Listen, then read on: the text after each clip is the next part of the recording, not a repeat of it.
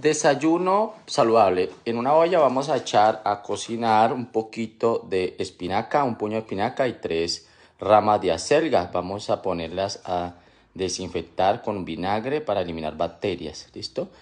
Vamos a sacarlas y vamos a picar trocitos, espinaca y acelga, no se lo olvide. Ya cuando hemos picado, la vamos a agregar en un sartén con un poquito de aceite para sofreír. Vamos a agregárselas para sofreír con un poquito de sal. Este es un desayuno saludable, ¿no?